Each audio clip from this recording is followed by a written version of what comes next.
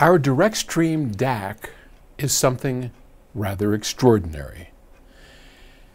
For one thing, any digital to analog converter is capable of converting digital audio to analog audio. So in that case, our, ours is nothing different. But what makes ours so different is its ability to be programmed. And what do I mean by that? Direct stream DACs from PS Audio use a field programmable gate array. An FPGA is a digital device that starts out as a blank slate and a clever programmer can tell it basically to do just about anything. It can be a computer. It can self-drive a car. My, my little electric car is filled with FPGAs. Or it can become a digital to analog converter, a DAC, which is what direct streams are. Now the advantage of that, or the advantages of that are many. I won't go through all of them because I don't want this to be a sales pitch. I just want to I want you to understand what we're doing. By designing a programmable DAC, it allows us right up to the last moment when we launch that DAC to be able to offer the latest in technology of digital to analog conversion. And then once it's out in the field, and let's say you've owned it for a couple of years, we're able to then take what we have learned to bring it to that state of the art point and reprogram in new features. Actually, replace the entire DAC with a new DAC with better linearity, lower noise. Anything you can imagine can be done in the DAC because it's just simply a matter of programming. And so what we do that is absolutely unique in the world of DACs, because there are other FPGA DACs, a few of them anyway, and they're rather sophisticated like ours, but we're the only company that actually gives its owners new DACs via a free upgrade process every few months. The last one was Snowmass. What was it, six, seven months ago? We came out with Snowmass and just took the world by storm. People, holy moly, this thing sounds amazing.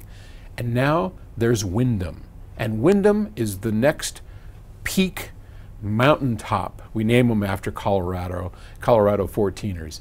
So Windom is the next mountaintop that we're launching today for free to all direct stream owners. And we are so proud of it and we want you to be able to understand what it is and why you should install it. And again, it's free, so why not?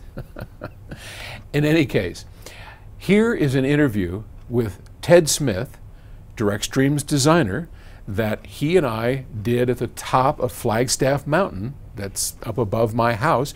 We sat out on the rocks, put our shades on, and I interviewed Ted to find out all we could about Windom, DACs, and audio in general. So here's that interview with Ted Smith, our digital genius. Enjoy. We're here at a secret mountaintop location, high in the Rocky Mountains. And look around you. This is amazing. Hi, I'm Paul.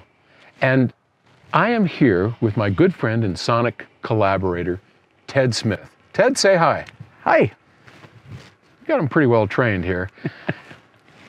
We're here together because it's a bit of symbolism to do with mountaintops. And mountaintops are what we call, in the various 14ers throughout Colorado, the upgrades for the direct stream DAC. And these upgrades are amazing because they redefine, they reimagine the DAC every single time. So let's get started. So let's start off by reminding people just what is a DAC? I like to think of it, a lot of people have CD players and the CD players basically come in two pieces. One of them's the transport, it's what spins the disc, and the other piece is what takes the binary bits off of the disc and transforms it into audio digital to audio converter. And I imagine there's plenty of DACs around. I mean, right? I yeah, there's there's tons of DACs, and we and, and we all kind of know that. But what makes direct stream so different than almost 99% of every other DAC out there? One of the main features is I'm a software guy, so when I built it, I put in an FPGA. An FPGA is a field programmable gate array, and it lets me do all the changing, how the DAC works is all in software. So as we learn more from customers or our ears, we can just go change the software and, and make it sound better. So in a regular DAC, I mean, th- you don't have this this software. No, no. Most DACs are itty bitty chips. They they're built for a very specific purpose. They're in most of the DACs out there, and they're not reprogrammable. They're they're if you want to upgrade them, you go buy a new DAC with a new chip. And some of the things that we've done, uh, what that we call various mountaintops, like we've had, uh, they're all 14ers out here in Colorado. So we've had Snowmass, we've had what Huron, Torreys. uh, Torreys, and in each of those upgrades, what, what, what change? What I mean, was it just a little tweaky thing, or was it a big change? Um, some of our releases were relatively small, but they were important. One of the releases, all I did was change the time at which different things happened mm-hmm. so that it generates less noise to interfere with the audio less. On the other hand, some of the releases I completely rewrite a major section of the DAC, like the upsampler is the most recent change. Mm-hmm. Another time I doubled the internal sampling rate. And you know, each each time we're going to do a release, we have to figure out what we want to change. And then I just try to think of how I'm going to do that for a while. And with your input, with the input from the customers in the field, we decide what we're going to do and Well, and, and I have to tell you, as as one of the the people on the listening session, when when Ted sends us a new mountaintop to listen to, uh, Darren and myself get in the listening room and we start plugging in, and every single time it's like, holy crap! Listen to this. I mean, it, this is, it's like. All of a sudden, it's wider, it's deeper, or it's shallower and narrow. I mean, it, it, it's tonally different. It is truly something extraordinary to experience as a listener to go through all these variations and then a lot of responsibility to pick the one that is going to be the actual release.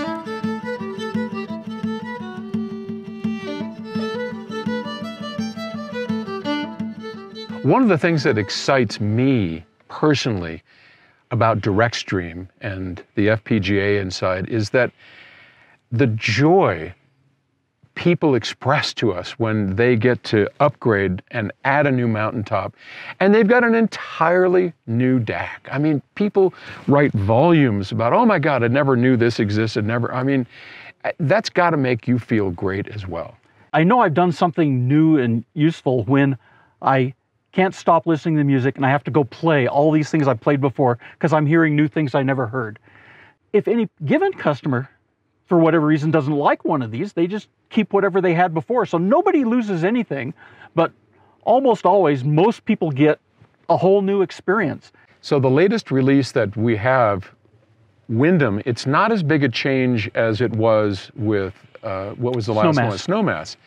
But I got to tell you, from a listening standpoint, all of a sudden, there's a richness and a fullness to the tonality that I I didn't know existed. And as soon as we put Windom on, it's like, oh my God, jaws dropping again.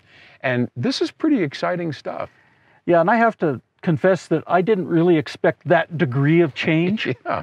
my my real goal was to to take some of the changes we made to go from Huron to Red Cloud and push on them a little harder, and then to take some of the changes we made for Snowmass and push on those a little harder. Over time, you learn more. You, you learn what's not important so you can throw it away. And I was just trying to polish, if you will, the last few releases. And I added one other idea that you and I discussed a couple of years ago. Yep. And it just seemed like a good idea at the time. And it takes advantage of some features in the hardware I wasn't using. And somehow, out of the mix of all of those, we got that richness. I was just expecting more black background, quieter noise floor. Those always work. Yep. But I think we were all just gobsmacked. And I, I called Ted and said, It's rich. It's full. He go, You were as surprised as we were. Yeah, I was. I knew I liked listening. Well, yeah, and as a listener, I got to tell you, it solves one of the tiny weaknesses that Snowmass had. And, you know, some people complained that Snowmass is the, the greatest thing they ever heard, but if anything, it could be just a little less lean. And all of a sudden, we've got everything Snowmass had.